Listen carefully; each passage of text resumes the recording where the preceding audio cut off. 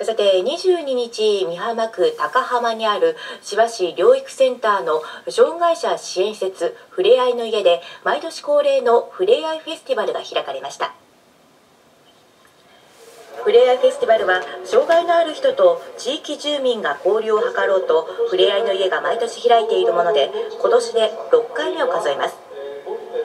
この日のステージの内容はボランティアの皆さんが手話や要約筆記で細かく伝えていました。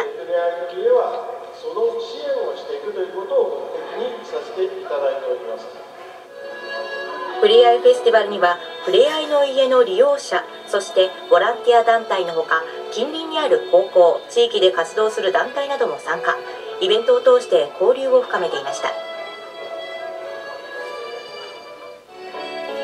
ステージの幕開けを飾ったのはハーモニカサークルとカラオケハーモニカクラブの2つの団体による合同演奏です。この中でカラオケハーモニカクラブはふれあいの家での活動にとどまらず市内の福祉施設やさまざまなイベントでもステージを披露し大勢の人に喜ばれているそうです。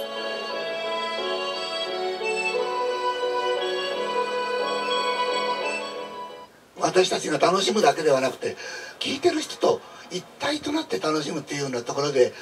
非常に意義があるんではないかなと思いまして病気を持ってる人だとかにまた元気を与えてみんなで一緒に楽しい人生を歩んでいこうということで私たちの仲間は今18人よりますが20年も一緒にお付き合いしましょうと20年のお付き合いを合言葉に活動しております。ふれあいの家は障害のある人に対し生活や健康面の相談。機能訓練のほか創作活動やスポーツを通して日常の生活支援や社会参加の促進を図る施設です。施設では生活に潤いを持ってもらおうと利用者に文化やスポーツのサークル活動を推奨しています。この日はハーモニカのほかコーラスやダンスなどさまざまなサークルが日頃の練習の成果を披露していました。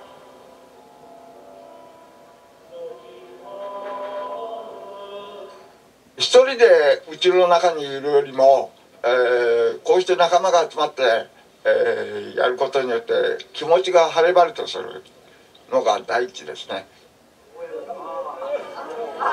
ふれあいの家では手話や要約筆記展示など福祉ボランティアのサークル活動も活発でそれぞれが体験コーナーを展開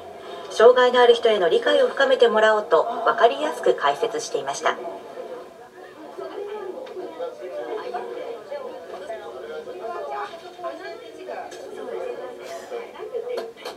もしご興味があるんであれば、まあ、ちょっと会覗きに来ていただいて展示ってあこんなものなのねっていうことをちょっとあの知っていただきたいとは思ってますのでご気軽にあの覗きに来てください。お待ちしております。ふれあいの家では視覚障害や身体障害のある人たちを対象にした自然散策会や手話講習会写真撮影会などレクリエーションや講座を開いています。お気軽に利用してみてはいかがでしょうか？